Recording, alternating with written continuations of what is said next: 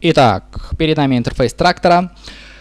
Э, что мы, что мы, что мы, что мы делаем? Все просто, э, делаем предварительные настройки. Первое, что самое важное, это настройка аудио, аудиодевайса. Выбираем вашу карту, если она изначально не выбрана, и теперь настраиваем latency. Как настраивать latency? Э, берем, берем трек, трек выбираем в браузере, вот браузер, нижний левый угол. Так, папка с музыкой. Закидываем трек, просто берем, нажимаем, держим и кидаем деку А. Нажимаем play. Если играет нормально, как вот играет... Если играет нормально, как играет сейчас, значит все нормально. С latency все окей. Но если вдруг слышен вот такой вот неприятный хруст,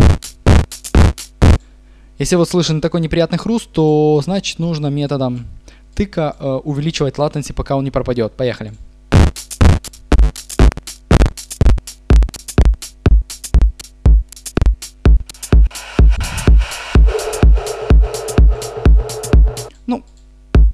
Я себе запасом оставил 61, 61 миллисекунду. Это мега много, очень большая задержка. Ну, блин, есть как есть.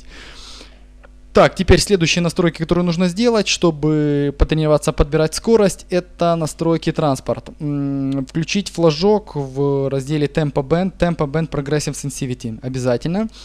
Второе, э, в деках Отключаем, чтобы не показывал нам BPM. Вот здесь он обычно здесь и здесь. Отключаем его, просто ставим title здесь и title здесь. Ну и все. Все, мы готовы, готовы, готовы, готовы. Попробовать проделать то же самое, что мы делали на вертушках, но теперь в тракторе. Итак, в деку А закинули один трек, в деку Б закинули тот же самый трек. Э, а у нас будет играть, с Б мы будем, Б мы будем запускать поставим на точку. Что это значит? Ну, в виниловом проигрывателе мы ловили первый удар. Здесь то же самое, только мы его не ловим, а запоминаем с помощью кнопки Q. Подводим красный курсор прямиком перед ударом, ставим Q, проверяем. Удар должен звучать сразу и четко. Теперь, какая проблема может возникнуть? Проблема заключается в латенси. Латенси это задержка. То есть, если мы в виниловом проигрывателе все зависело от нашей реакции, то тут еще к времени реакции добавляется еще это latency задержка. Поэтому тут надо будет как-то адаптироваться. Но все возможно. Итак, пробуем. Этот запускаем. А второй трек выбиваем.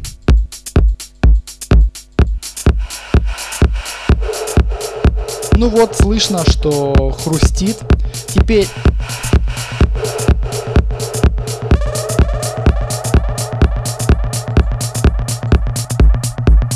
слышно, что хрустит, вот, я запустил, вот, слышно, что хрустит, значит, чуть, ну, где-то не попал, или сильно рано, ну, раньше запустил, или позже. Эта ситуация поправляется с помощью кнопок pitch bend, вот, вперед, это значит ускорить, или подтолкнуть, это равносильно тому, что мы подтолкнем барабан на виниловом проигрывателе. Или притормозить, равносильно тому, что мы притормозим э, барабан на виниловом проигрывателе. Вот этот видите, вот этот прибор, он показывает фаз, фазметр, так называемый. Он показывает, куда трек убегает, вперед или назад. Вот. вот его мы сейчас отключим, как и BPM, чтобы он нам не мешал. Это делается тоже в разделе Deck. Вот Deck. Show uh, Phase Meter. Мы его просто отключаем. Close. Все, теперь готовы. Еще раз запускаем. И если чуть-чуть криво запустили и слышен хруст, с помощью кнопок Pitch Bend подгонки. Просто поправляем. Поехали.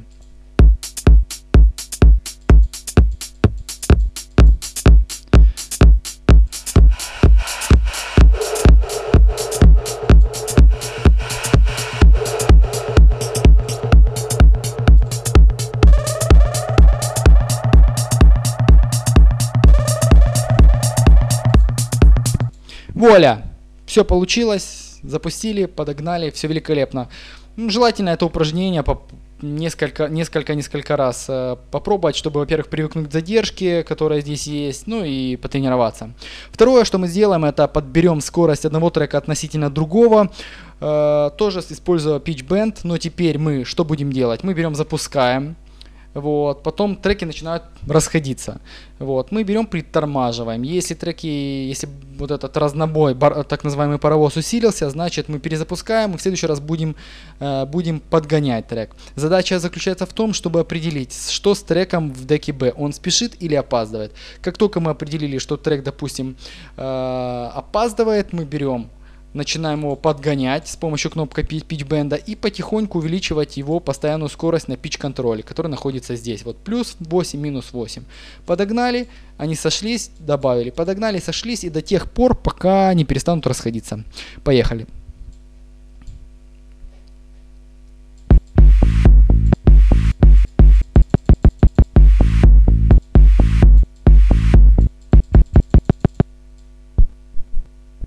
Выставляем первую точку. Есть контакт. Ну что, поехали.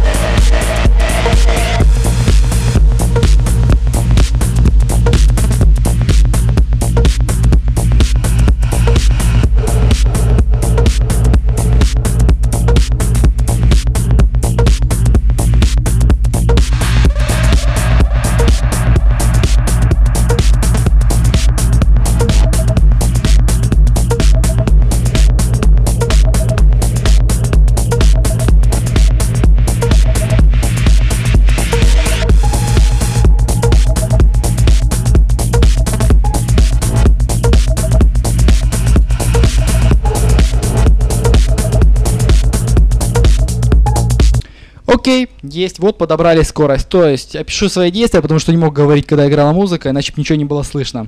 Я запустил трек, э, они сначала играли бит в бит, потом трек, потом начиналась каша, разнобой, и я наугад взял и перетормозил этот трек.